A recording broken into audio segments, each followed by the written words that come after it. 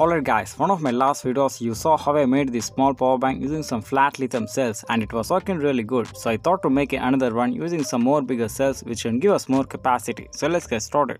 Alright guys, I have been testing these cells from last 6 days and I just want to know you that every time I tested them shows a different value on this ZB2L3 capacitor tester and I thought it was this capacitor tester but this thing was actually working really nice. It shows a little bit higher value but that's just fine because we just need to know which one is high and which one is low right? It was actually these cells because it almost two years when i brought them and i didn't even open them from the pack and the cells were like 2 volt 1 volt and some of them even like 0.3 volts. So i charged it by using this computer smps with the TP4056 module. When I tested them at first, it shows 2881 milliamp hours and the cells was a little bit warmer. So I charged it again and discharged it with the tester and it shows 2999 milliamp hours. Some of them are increased and some of them are decreased. And I thought maybe I can get more capacity if I test them again. But it shows the exact same value when I tested them at third time.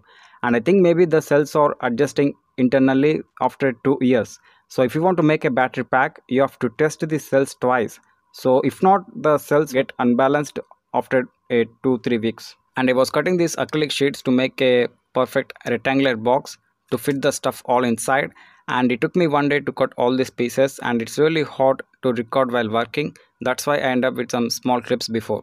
And this time i'm using two usb sockets because these cells have high capacity so basically gives us more backup and a small uh, buck converter DC jack pin and a 3S BMS I bought them online and a small LEDs and a battery charge indicator. I'll give link in the description for this.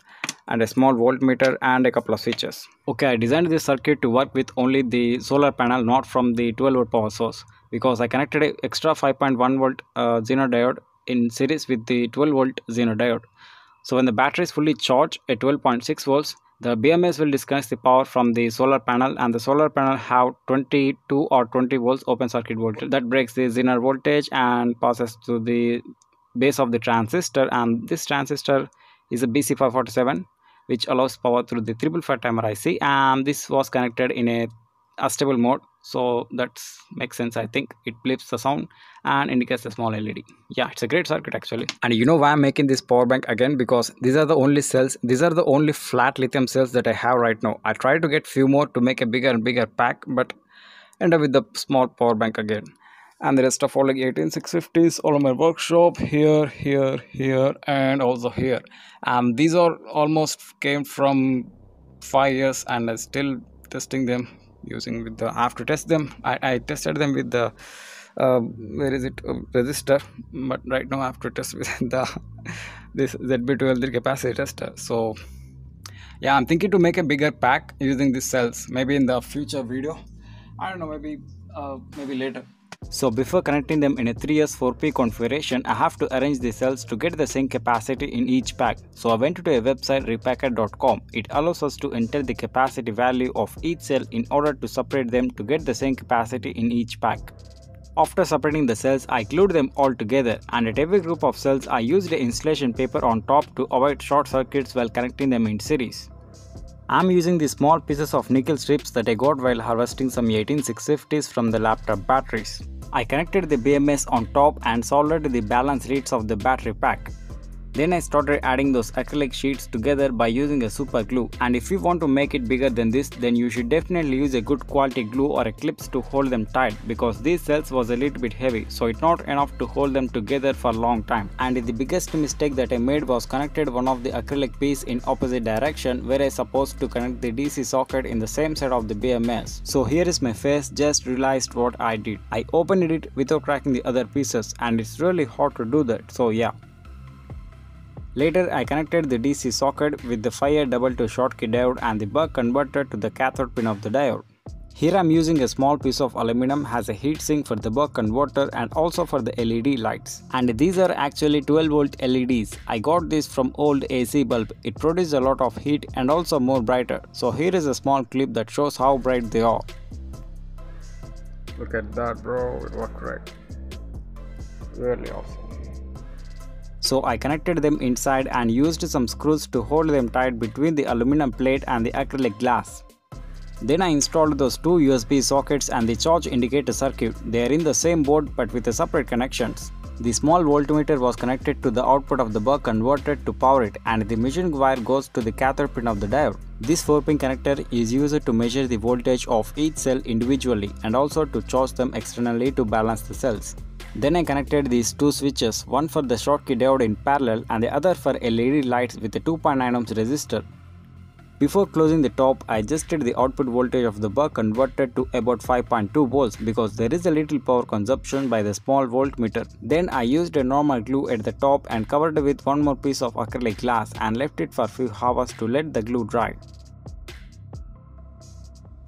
Later I removed the upper cover of the acrylic sheet and it looks pretty cool.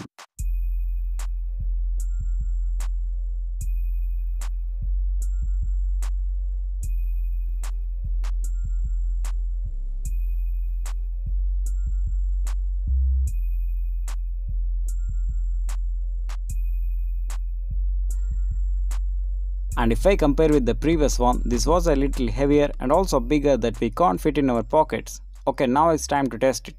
So the next day morning I was connected to a 50 watt polycrystalline solar panel to charge the battery and also to see how exactly the charge indicator works. Alright guys, it's charging with the solar panel out there and right now it's 12.8 volts but that's not the battery voltage it actually shows the solar voltage because we are connected the measuring wire of this voltmeter on the cathode side of the diode. But if we turn on the switch the diode gets shorted and now it shows the actual voltage of the battery and as well as the solar panel because they both connected in parallel now. And if the battery is fully charged the BMS circuit will disconnect the power from the solar panel that indicates the bleep sound using this charge indicator circuit. And it almost 3 hours and it's still charging. Don't know how much time it takes and in the meantime i want to show you guys something that i'm very excited to make a video on it so just hold on a second Okay.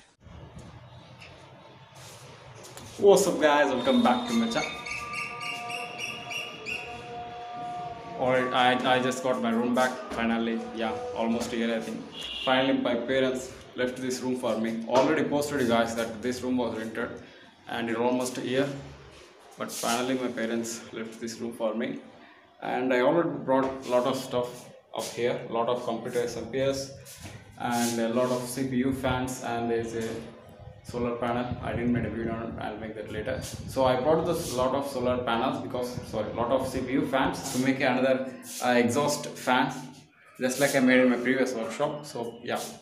So i have to make a workshop tour video where i was making videos right now. So after that i'll grab all my stuff and put them up here. So yeah that's pretty much it. Thanks for watching. Bye here we go guys. The battery is fully charged.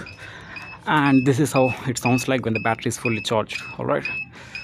So it's showing 16.8 volts. So that's the solar panel voltage not the battery voltage anymore. There is no load on the solar panel right now.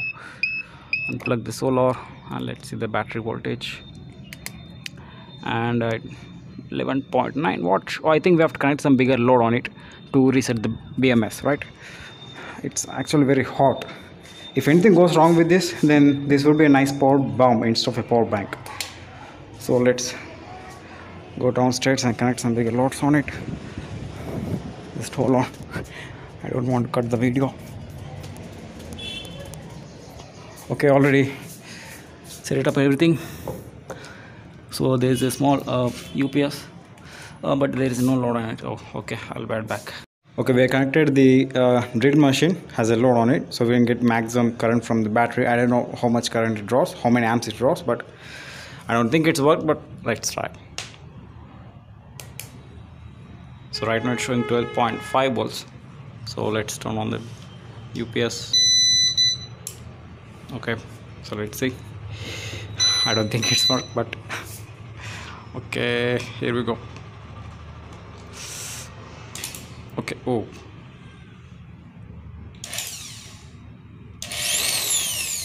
Bro it's working bro. But actually if you see the voltage is totally too, uh, too much uh, voltage drop right there. Look. 8.4 that's that's totally bad. Oh my god. No no no no no, no. i don't think that's if you draw too much from the battery the bms may just burn it out or i don't want to lose the bms so maybe i think it's uh, drawing about mm, 3 amps or 4 amps 5 amps maybe i don't know but it works really great right so yeah and later that day at night I tested the LEDs in dark to see how bright they are and it actually more brighter than I expected that you can't see my face in the video. That's really great and I hope you guys like this video and don't forget to subscribe. Thanks for watching. Bye.